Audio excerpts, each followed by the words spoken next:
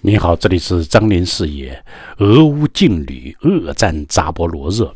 呃，最近这几天，也就是从六月十六号到十八号，乌俄两军呢，呃，都在激烈的争夺呃扎波罗热的呃特克哈特城、派塔克哈特城和热列比扬基村。嗯，在这个地方，乌军的主力呢是幺二八三地突击旅，嗯，他们以连级战斗群呢展开攻击。呃，这个呢是以前没有过的，因为乌军以前呢都是按照西方的战术实行呢这个排级，呃或者班级战斗群进行攻击。也就是说呢，一般来说呢，七八十来个人，嗯，最多呢二三十个人，三十来个人进行这个散开。进行攻击，呃，因为现在的火器都太强，你这个人多了以后呢，容易遭到对方炮火的覆盖性打击。嗯，就像这个美军现在的战术啊，没有人把敢把一个排放在一起，因为一颗这个子母弹来，呃，就是基础炸弹来，就能把一个排的人全部摧毁。呃，俄军呢，嗯，也声称呢，说从来没有见过乌军这般疯狂攻击的场面。呃，可能呢，现在乌军呢感觉到进行集团攻击的时机已经来了。俄军呢倒是经常呢进行连级攻击，但是俄军也不敢进行营级规模的攻击，因为营级规模的攻击呢有可能造成巨大的伤亡。但是乌军呢现在也进行连级战斗群攻击呢，说明双方呢的确是，呃。进入这个恶战状态。现在乌军的战术呢，据俄军描绘呢，是装甲车呢快速逼近，抵近向这个地面的康道啊，步兵，俄军的步兵开火，然后步兵小分队呢。就迅速的从车厢后面跳出来，端着武器呢，摸进俄军的战壕。因为对于战壕的俄军讲老实话，没有什么好办法打击，还是，呃，这个装甲车机枪扫射，然后呢，小分队呢丢这个手雷，呃，或者呢用迫击炮，呃，近距离攻击呢比较有效。目前俄军第五十八。集团军的摩步第十九师，还有这个格鲁乌的第二十二特种旅，以及南奥塞蒂的志愿兵、莫斯科州的动员兵等等，目前呢都被俄军呢指挥上前线去参加这个恶战。嗯。第幺二八山地突击旅呢是乌军的精锐突击部队，他们是专门打硬仗的，他们的装备也最好，而且呢，他们都是一些在顿巴斯一带作战八年的老兵为基础建立的部队。嗯，峨眉呢？过去在一年来呢，曾经多次声称呢，乌军的这支山地突击旅，也就是幺二八突击旅呢，已经被俄军消灭，或者被击溃，或者伤亡惨重。大概有我查了一下，至少有三次被俄军口头上消灭了。呃，但是呢，呃，随后呢，这支部队又参加了战斗，而且是愈战愈勇。呃，据俄罗斯媒体报道，六月十七日深夜，乌军的第幺二八山地突击旅冒着俄军的猛烈炮火，带着夜视镜冲锋。嗯，他们冲进了派特克哈特城西部的区域。经过一整夜的战斗，俄军的南奥塞蒂步兵营残余部队被迫退守城外。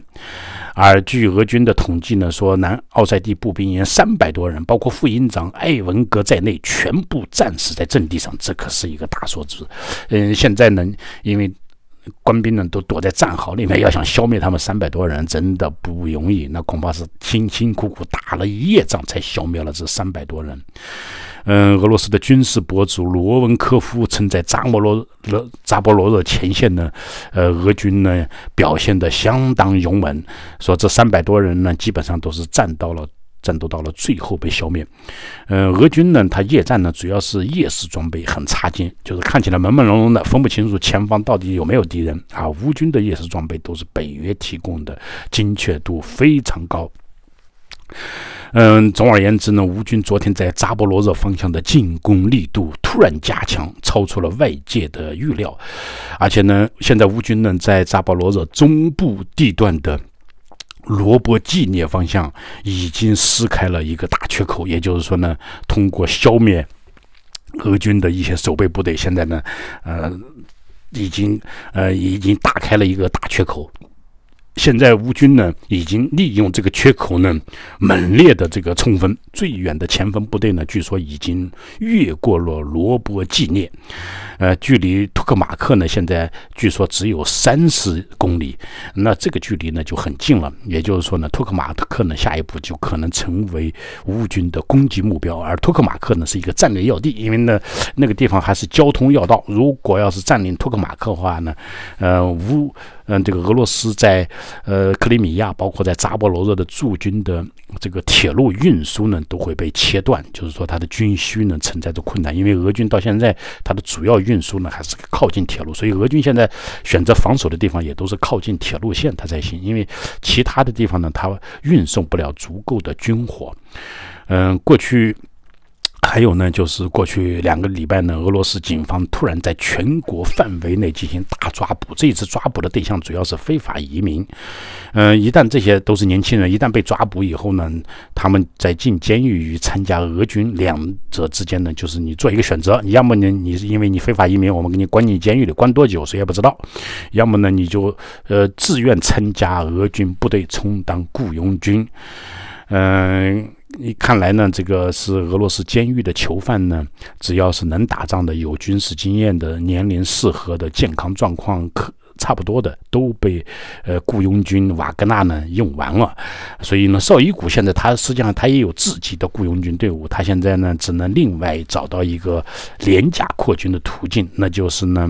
嗯把这个全国的利用他跟警方的合作，也就是说呢跟俄罗斯全国这个公安部门的合作，来抓一些非法移民，而这些所谓的非法移民呢，其实呢呃都是前苏联加盟共和国的居民，他们呢要么是因为其有亲戚在俄罗斯，要么就是以前一直在俄罗斯境内有工作，或者在做小生意。嗯，只是因为俄罗斯的这个官官僚系统呢非常腐败，喜欢刁难这些，嗯，就是说这些具有外国身份的人。呃，所以说呢，你要去办身份啊，或者什么的，他为你敲他敲诈勒索。所以呢，这些人呢，为了省钱呢，懒得定期去政府机关办理签证。呃，政府呢也平时睁一只眼闭一只眼，但是现在呢需要抓炮灰，所以呢就动手抓他们了。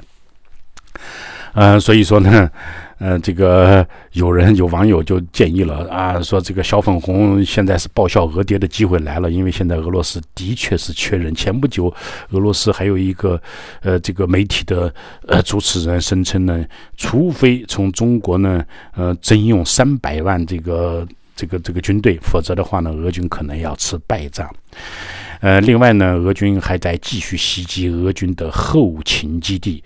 呃，因为俄军的这个 S 四零零，嗯，基本上拦截不住乌军的远程导弹，尤其现在是这个对于英国的这个风暴影子导弹，俄军根本还拦截不住。呃，所以呢，乌军的这个风暴影子的这个巡航导弹呢，今天又命中了俄军的一个后勤枢纽，呃，叫做里科夫，呃，这个地方立于扎波罗热战线后方一百公里的地方，呃，在克里米亚半岛和铁路枢纽梅利托波尔之间，呃，乌军的这个导弹呢，引起了呃俄军仓库大量弹药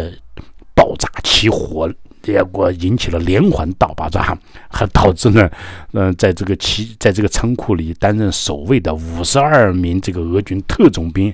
逃跑都来不及，最后呢，要么被炸死，要么被压在这个仓库的废墟下而阵亡。所以说呢，嗯，俄军的后方呢，看来是越来越不靠谱。不靠谱了，而且呢，现在俄军呢也在呼吁北约给他们提供射程超过两百公里的导弹，因为这样他们就可以把俄军的后勤基地、后勤仓库或者铁路枢纽或者转运站通通给摧毁。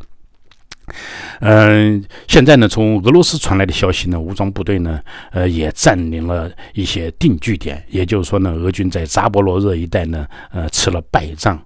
呃，所以说呢，从总的来看呢，呃，这个乌军呢正在呃扎波罗热呢可能取得新的突破，嗯，而一旦呃乌军呢在扎波罗热能够攻占，不管是梅利托波尔还是马里乌波尔，呃，都可以切断这个把俄军呢一分两段。这从战略上来讲呢，嗯。极为有利，因为俄军的军需呢将会面临着供应困难，本来就很困难了，将来会更加困难，这样就会导致呢扎波罗热，呃，就是赫尔松南部啊，还有这个克里米亚，也就整个俄军的南方的军队呢丧失持续作战的能力，因为他没有军需了我们没有弹药供应了，他只能只剩下逃跑或者投降这两条路。